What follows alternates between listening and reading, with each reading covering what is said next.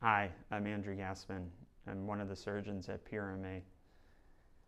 People ask, who are you? Where did you come from? Uh, a little bit about me. I grew up in New Jersey. Uh, I lived there until I went off to college. I went to Holy Cross in Massachusetts. Afterwards, I lived in North Carolina. I did some research at the University of North Carolina at Chapel Hill. Uh, subsequently, I went to medical school at Loyola University in Chicago, Illinois.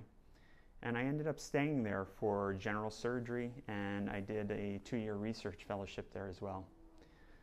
On completion of my general surgery training, I traveled all the way out to the West Coast uh, and I studied at UCLA, uh, plastic surgery training.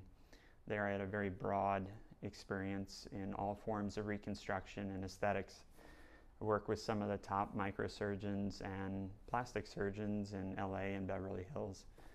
And then so afterwards, I then did a one year fellowship uh, focusing on uh, breast reconstruction and microsurgery, as well as some aesthetic at the University of uh, Texas Southwestern in Dallas.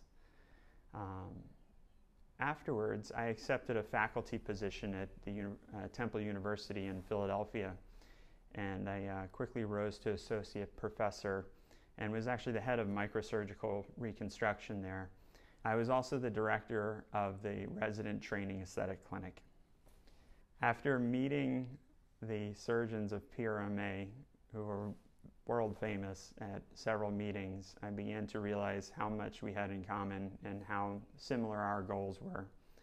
Their desire to serve people uh, really underscored a lot of my own training and my family history with public service and patient service. And I'm very happy to be a part of this very special team.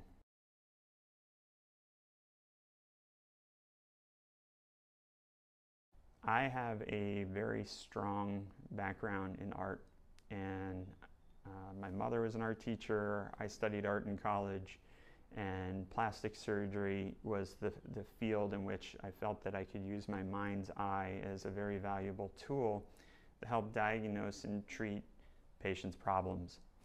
And in all the areas of medicine, surgery attracted me the most. It was something where I had um, a very good skill set that I could actually apply. And then patients undergoing treatment for cancer uh, specifically breast cancer, really need that uh, attention to detail and focus and aesthetic look and eye to really accomplish what they need. And I hope to provide it to them.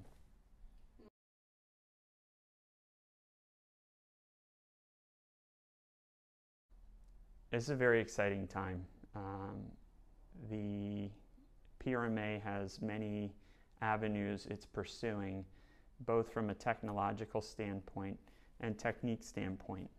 And I hope that in the next coming years we can develop robotic uh, assisted DIEP reconstruction um, and other components to the reconstructive process that really push beyond just the, the reconstructive aspect and uh, to turning the, this surgery into a far more aesthetic and life affirming event than it has ever been before.